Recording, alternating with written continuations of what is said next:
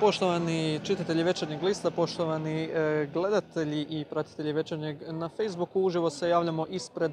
Ustavnog suda u Zagrebu ovdje na trgu Svetog Marka gdje već nešto više od sati pol iza zatvorenih vrata traje odlučivanje o trenutno gorućem pitanju u Hrvatskoj, a to je može li predsjednik Zoran Milanović istovremeno ostati predsjednik i biti kandidat na predstojećim parlamentarnim izborima koji će se, prema njegovoj ranijoj odluci, održati 17. travnja, odnosno u srijedu.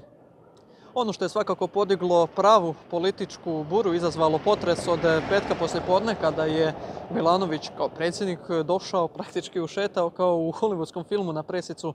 eh, SDP-a i rekao rijeke pravde dolaze, izliče se na proljeće i tako najavio svoju kandidaturu na predstojećim izborima je ono o čemu će dakle sada razgovarati i već razgovaraju sat i pol ustavni suci, a hoće li uskoro biti gotovi ne znamo, naime prije 30 minuta iza ovih vrata koje vidite iza mojih leđa stiglo je desetak pica, ne znamo za koga su one, jesu li ustavni suci odlučili naručiti gablec pa da tako e, uz e, picu još degustiraju i raspravljaju sljedeći e, satima ili minutama. Ono što neslužbeno imamo da bi oko 13 sati sve moglo biti poznato, odnosno da bi odluka mogla biti spremna. Ovdje inače mirno je sunčano na trgu Svetog Marka, prolazili su i neki političari iz Sabora, e, bio je ovdje nedugo prošao i Željko Sačić, ali prošao je ovdje i Arsen Bauk iz SDP-a kojeg smo kratko zaustavili i zamolili za izjavu. On nam je komentirao e, da bilo što što odluči Ustavni sud, odnosno da je neovisno o njihovoj odluci SDP će poštovati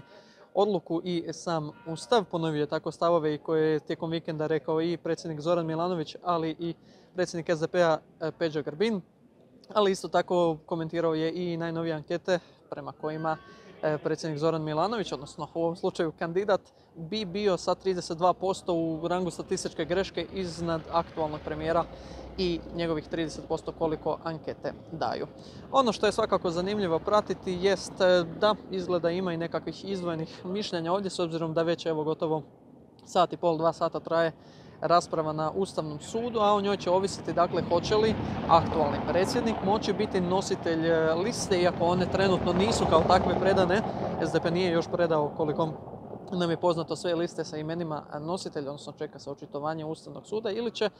ona stranka, ako to bude SDP, kada prikupi dovoljan broj glasova za većinu i novi predsjednik Sabora dodijeli joj mandat za sastav vlade, da će mandatar upravo tada biti Zoran Milanović, koji bi onda u tom trenutku trebao podnijeti ostavku.